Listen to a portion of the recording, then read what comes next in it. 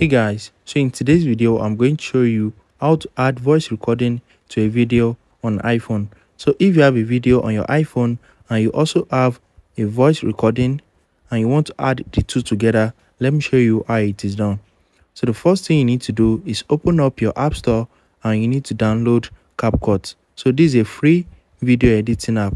So it is very easy to use and has a lot of features. So just search for CapCut and you need to download the app to your phone.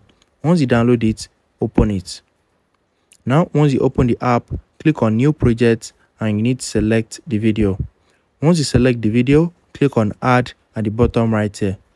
So now, once you click on Add, close out of CapCut and you need to open your voice memo app. So let's open my voice memo app and this is the voice recording. So now select the voice recording and click on these three dots in front at the top right corner of the voice recording. Once you click on it, click on share. After that, scroll down and click on save to files. Once you click on it, you need to save it anywhere on your iPhone. So I'm just going to go back to browse at the top and I'm going to save it on my iPhone. So let's save it right here.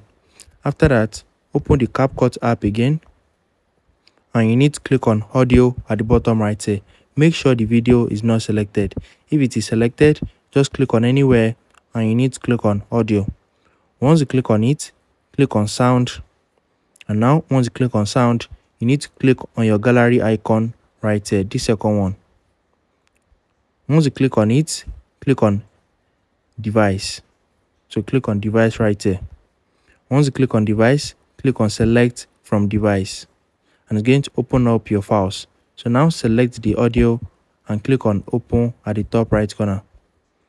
Once you click on it, it's going to load. So now click on this plus icon to add it.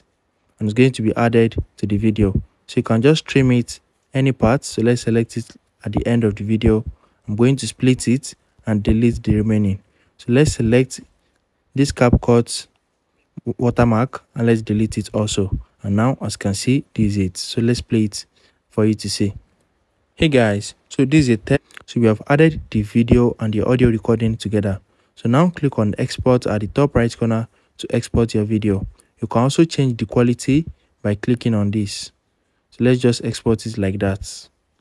And that's it. Very easy and straightforward.